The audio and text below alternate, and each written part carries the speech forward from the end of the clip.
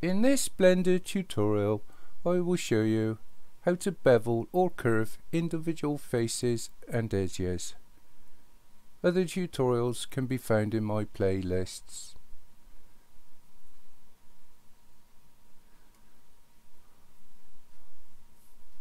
I'm going to work with this cube just to make things a little bit simpler. So roll your middle mouse and just zoom in so you can see what you're doing. And then press tab to go into edit mode.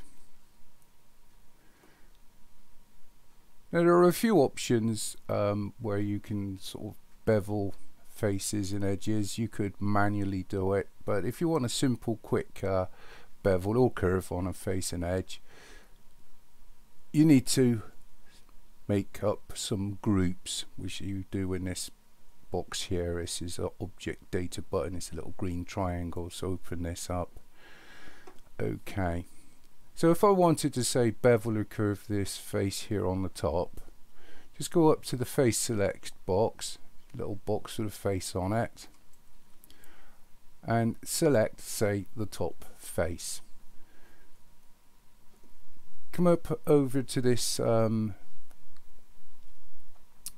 where you've selected the um, little triangle down here this object data properties.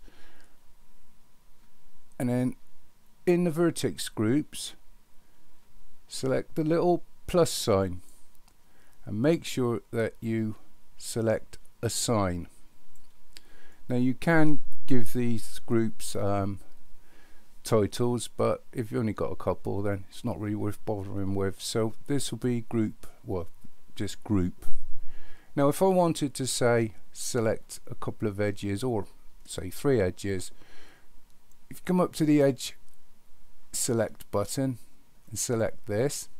And let's say I wanted to select this edge here and I don't know bevel it. Again plus sign and then assign. And we'll select this one here and plus and assign you could if you wanted hold down shift and select three. So you could just bevel or curve these three edges here. Vertices are a little bit more difficult in one vertex you probably would have to do that in as a in edit mode. But for now these three will do.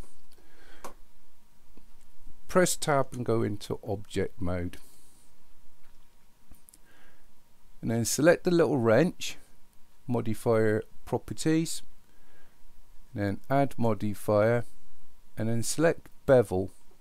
And what this will do is bevel all four sides. So what you need to do is where it says limit method, select angle, and then vertex group and then select let's say the first group and now I can bevel the top face. And if I wanted to curve it I can do this by increasing the segments here. In fact I could curve it all the way up if I wanted to.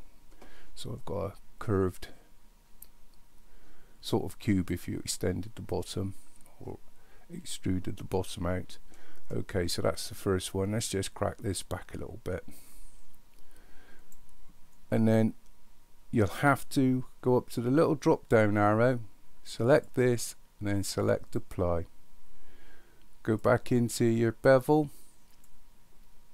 and again select angle vertex group and select your next group.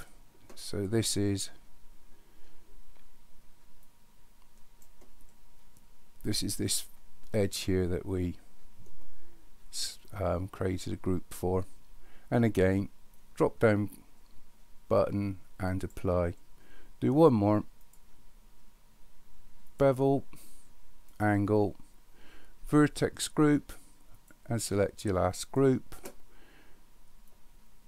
And you can then curve it if you want by changing the segments and the amounts. And that's basically all there is to it. Hopefully this helps someone thank you for watching. Cheers